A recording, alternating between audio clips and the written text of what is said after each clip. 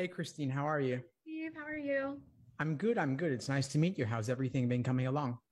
It's been going well. Um, I am, let's see, I am 10 days away from the November LSAT. So I'm getting ready, kind of doing like the final like preparation steps, but I definitely have like a few questions for you, especially in regards to like how to prepare in these next 10 days to make Yeah, sure.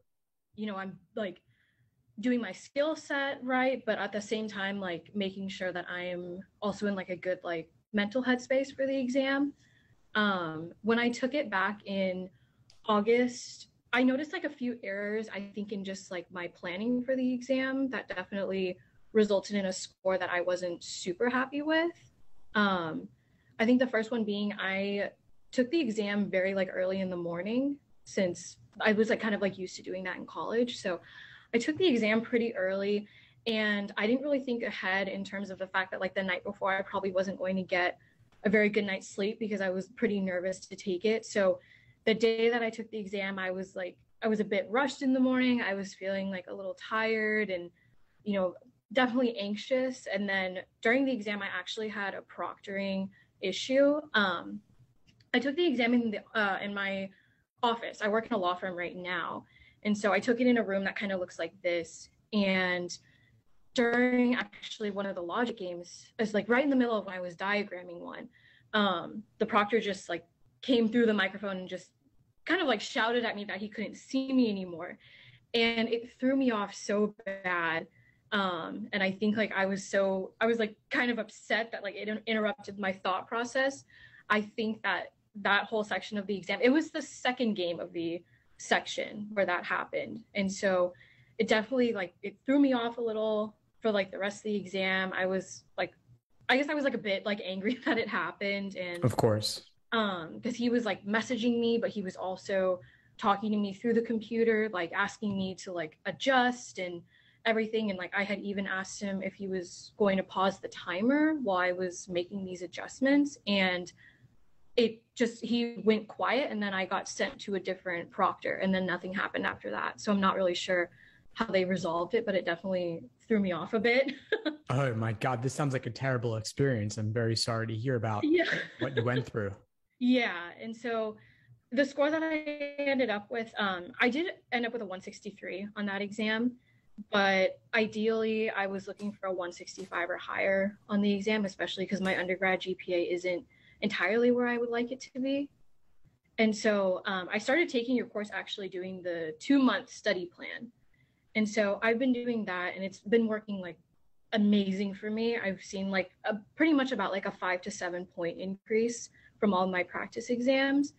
But I just wanted to see um, what your tips or strategies would be for someone who's like this close to exam day and how I should be reviewing, like potentially like how many practice tests I should be doing. Because one issue that I have been noticing with my studying, um, I do work full time in a law firm as a clerk. I do trust and estate planning. And so um, I think balancing like my work life and then also doing the studying, I did kind of hit a burnout period. I would say um, this past weekend, I was doing some of my practice exams and I was making silly mistakes, like as silly as misreading one of the rules for a logic game. So I wanted to see like what your thoughts were kind of on like how to prep and then also having like a bit of burnout, like how I should spread it out to where I get kind of like re-energized and not make those silly mistakes. Come. Absolutely, sure. We can definitely cover all of that. Before we get into that though, one big looming thing is how can we avoid a proctoring experience like what you previously had right. going into November because I'm sure that's on your mind because yeah given given how poorly that went and given how just incompetent that particular proctor was yeah there's nothing you can do to guarantee 100% that the proctor won't interrupt you mm-hmm. but at the very outset of the exam before it even begins mm-hmm. I would recommend emphasizing to them hey listen if you have to interrupt me for any reason during the section whether it's audio or in the chat, can you please pause the clock? Right. And then you could remind them again during the break just to make sure that you're doing everything that you can because some of them don't realize how strictly timed this exam is or how right. important it is. They're proctoring tons of other exams. So they're not like LSAT exam specialists or anything. So right. that's the biggest thing I would recommend at the start going in. Okay.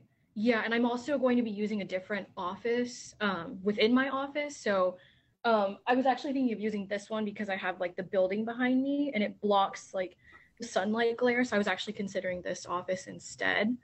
So hopefully I can at least eliminate that issue. But yeah, but yeah. Yeah, and make sure that yes, you know, you eliminate glare. Make mm-hmm. sure that you're centered in the camera, that it, the camera's at a good height for them, and you could confirm right. all of that with them as well before it starts. So if you shift a little bit left or right, like it's not gonna it's not gonna make them concerned that they can't see you or anything. So that's the biggest thing I want to just make sure that I recommend to you. Regarding the prep schedule for the final 10 days, mm-hmm. it really is about taking full length practice tests okay. and reviewing them in depth. So with 10 days, I would suggest maybe doing two or three. Okay. I don't think that you need to do more than that. Okay. I certainly wouldn't recommend every day. And mm-hmm. in order for you to have adequate time to review them in depth, mm-hmm. considering that you're working full time, I think two to three is the most I'd recommend. Okay. Yeah, and I did also take some time off um, next week from work just to have time to like you know do length practice tests, but then also like have some time to like sort of recharge and relax. So I, I definitely think that'll help compared to like the strategy that I had with the LSAT last time. Because the last time I took the exam, even the day before the exam, I had taken a practice test. And I think that was a mistake also on my part because I did feel a little bit of burnout like come actual test day. Exactly. Yeah. You want to walk in feeling refreshed and ready to go. So mm-hmm. I would recommend that you not do anything at all the day mm-hmm. before and that okay. you take your last practice test a couple days prior. So okay. you have time to review it in depth and feel complete on whatever might have given you trouble on that exam. Because the point of these is not to learn something new. At this point, you right. generally know it or you don't. It's just about resolving any lingering questions and right. going and feeling strong with good practice test results in those final weeks. Okay. And then um in terms of like certain questions that I notice I still sometimes struggle with or take a little longer with um it's specifically for logical reasoning, the parallel reasoning questions. Those always seem to take me extra time and I do get them wrong like more often than like the rest of the question types in logical reasoning. And I think um I think it's mainly just because when I'm going through every single answer, to me, like, because obviously in some way they're usually sometimes like correct in like specific ways. And so I think when I usually get to maybe like choice D, I kind of forget like what I had, you know, inferred from like A, B, and C. And so sometimes like I have to like go over them again, or I just end up marking the wrong answer. So I wanted to see what your thoughts were on like reviewing that particular question type specifically before exam day. And also, I haven't really practiced like the strategy of just skipping certain questions out of the section. So I wanted to see what your thoughts were on that as well. Yeah, sure. So regarding the parallel reasoning questions, mm-hmm. It's really important to form an abstracted idea of the method of reasoning in the stimulus. So extracting a general principle mm-hmm. and then holding that general principle in your mind Mm-hmm. as you're scanning through the choices. Okay. So just ask yourself as you go through A, B, C, and so on is this in line with the general principle? Is mm-hmm. it that I had in mind? Is it matching the degree of certainty mm-hmm. in the stimulus? Is it matching the category of things they're discussing? So, all people, most people, some mm-hmm. people, some people who X, Y, Z, and they're further qualifying it. Mm-hmm. Whatever that range is, you want to make sure that it's matching as closely as possible. Okay. And then for these questions, because I typically haven't been diagramming any questions for logical reasoning, but would you say that parallel reasoning is a question that could benefit from a quick diagram? Sometimes it depends on how it's structured. If it's structured okay. in a very formal logic way, uh-huh. meaning lots of conditional statements, mm-hmm. very tightly written, then it might be valuable. Okay. But there are plenty of cases where these are more informal logic where diagramming isn't going to necessarily reveal a whole lot, in which case I wouldn't. So it's a case by case kind of thing. Okay.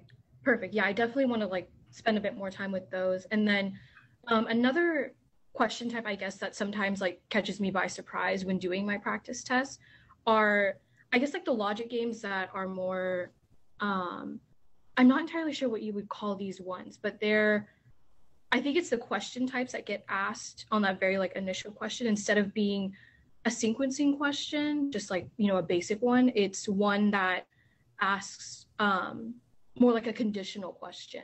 So I think those logic games like throw me off a bit. I think a good example would be um, the mulch game. I watched one of your videos for that one, but I think it, games similar to those. And then there was also one of the games, uh, I think it was maybe in Prep Test 70, where it was like J can't be passed on to K, K can't be passed on to L. So I think like those sort of games that aren't like the traditional, you know, like ordering and grouping kind of games, um, would you recommend like reviewing some of those more in depth, like maybe even ones that I've already done and maybe like rewatching one of your videos on them or just kind of like retracing like my diagram and thought process steps for those kind of games? Sure. So, I mean, it's definitely worth reviewing the video explanations in the course for any logic game that gives you trouble. Mm-hmm. The Molten Stones game is actually quite different from the game where we're passing from J to K to mm-hmm. L to M. Those right. are two radically different types. The Molten Stones game is actually one that can be broken into a couple of major main diagrams. Right, right. So that one four for that one, yeah. Right, right. So that one's actually pretty tightly structured. Mm-hmm. However, the cleanings idea is a bit of a curveball concept. A mm-hmm. lot of ordering games do not have anything like that. And so that might be initially troubling.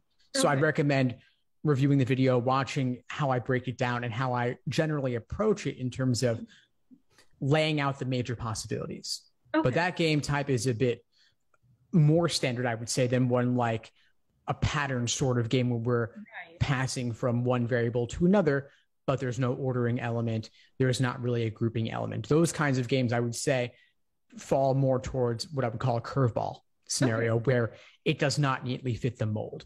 And right. for someone who feels fairly proficient in the basic game types, mm-hmm. the curveballs are where I would focus in these final days. And I have a big list of them in the course. Let me know if you can't right. find it. And so I would just practice those getting practice getting put into these unfamiliar scenarios that can be initially intimidating and then seeing how actually these games are susceptible to the same underlying strategies that any game is.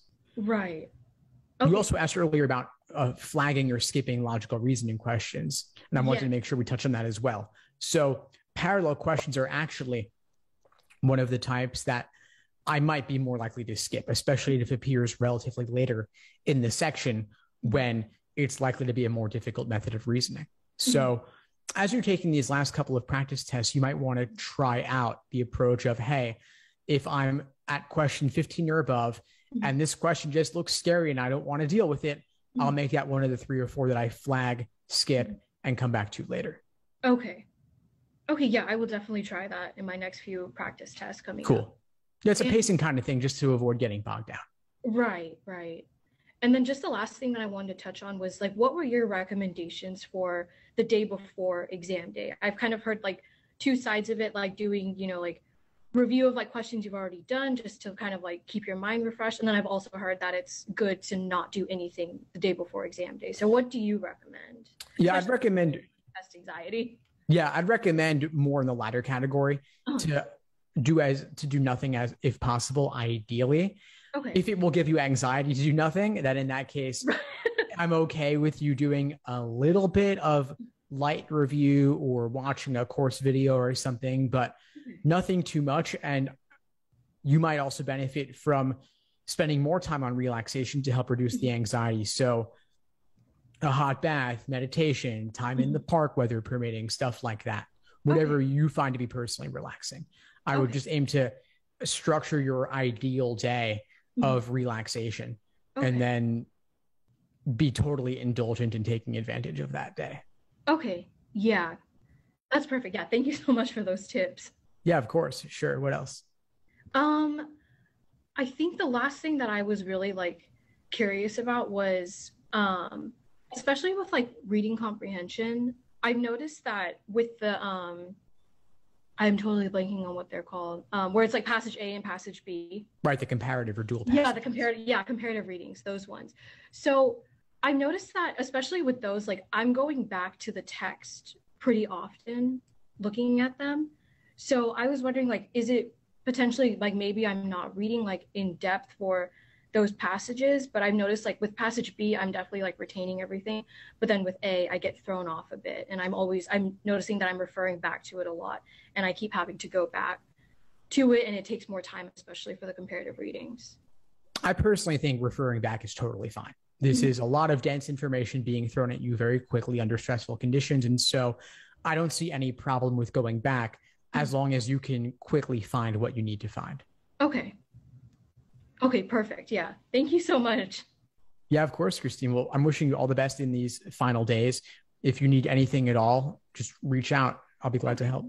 Thank you so much, Steve. Yeah, your course has been very helpful. Like seeing the score increase was definitely like my motivating factor to keep going. Thanks for tuning into the show. Please subscribe if you haven't done so already to be notified of new episodes as I release them. And feel free to reach out if you need anything at all as you move forward with your prep. I'm happy to help however I can. In the meantime, I'll wish you all the best and take care.